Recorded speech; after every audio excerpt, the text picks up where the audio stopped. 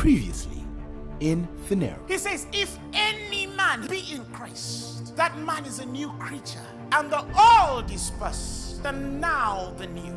And all things are of God. That's the simplicity in Christ. That all things are of God. There is nothing hard to do. Ministry is not hard. Marriage is not hard. Business is not hard. Your career is not hard. Healing is not hard. Deliverance is not hard. Walking in the Spirit is not hard. Why? Because there is simplicity. What is the simplicity? All things preaching, it's of God. Hallelujah. When I'm praying for the sick, it's of God. When I'm prophesying, it's of God. When I'm ministering, it's of God. When I'm doing business, it's of God. When I'm entering marriage, it's of God. When I have children, they are of God. How can it be complicated when everything is of God? God wants to take you deeper than the challenges that are in your life. So you understand exactly why Jesus is in you and why you are in Christ. As you have received Christ Jesus, walk ye in him. How are you supposed to receive him? Understand that this union was one. He that is joined with the Lord is what? One spirit with the Lord. Once you understand what it means to be in Christ and what it means for Christ to be in you, you'll understand that salvation is supposed to be a life of simplicity. That's maturity. That is the simplicity. The simplicity of Christ is to the intent that by God, Christ is made unto us of God. All things are of God. Okay, First Corinthians chapter 1, verses 30. It says, But of him are ye in Christ, who of God is made unto us wisdom, righteousness, sanctification, and redemption. So, Christ is the wisdom of God, and He's made unto us the wisdom of God. Christ is the righteousness of God, and is made unto us the righteousness of God. Christ is a sanctification of God, and is made unto us the sanctification of God. That means you are wise of God. You're righteous of God. You are sanctified of God. All things are of God. Now, what makes him simple? Because I don't need wisdom, I have him. So if I have him, he's been made unto me wisdom of God. I don't just carry the wisdom of men, I carry the wisdom of God because Jesus is made, the wisdom of God. So I can't wake up and I'm struggling. You can't be a student and you say, you know what? That guy is wise. I wish I was wise like him. Oh my goodness.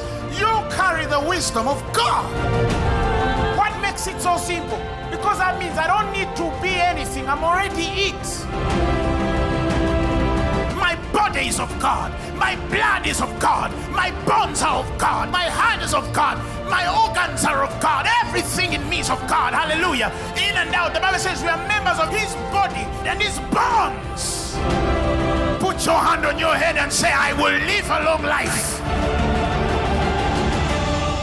You don't walk after the flesh, but after the spirit.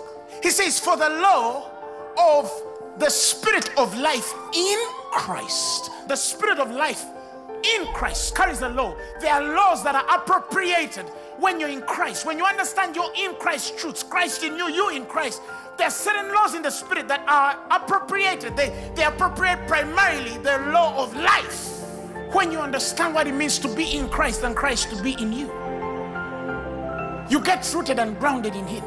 Life starts to come out of your spirit. Condemnation is not your portion because you're unreprovable, you're holy and unblameable.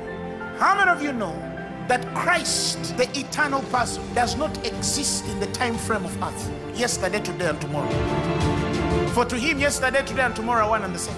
So the person of Christ cannot be ignorant of the present, the past, and the future. Some of you are still waiting to tell you that next year you're going to be a success. There's a point where you get to in God.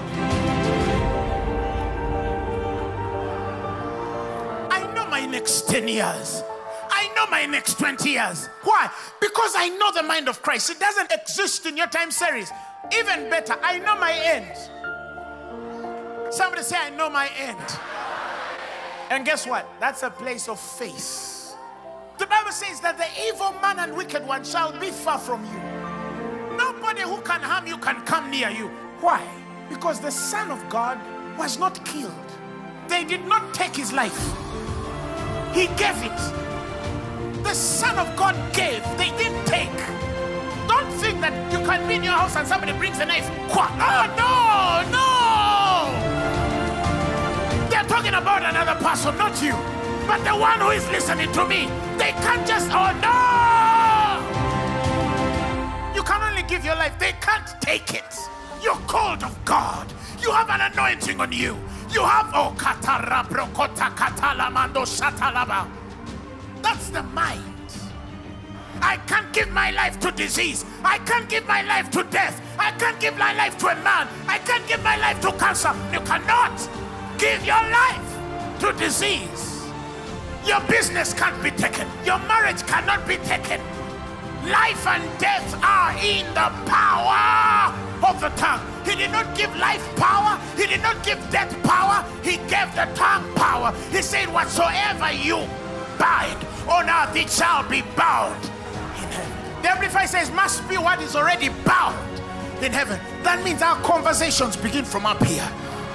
He says, For our conversations are in heaven from whence we look. We begin from up there and bind. Those are called the keys of the kingdom.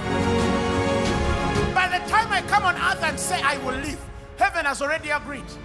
By the time I say I'm a success, heaven has already stamped it. Hallelujah, somebody. Signed and sealed and delivered. You will have a long life. You will see good days. And for more of this, join us every Thursday at UMA Lugogo from 5 p.m. to 9 p.m. Phaneroo, make manifest.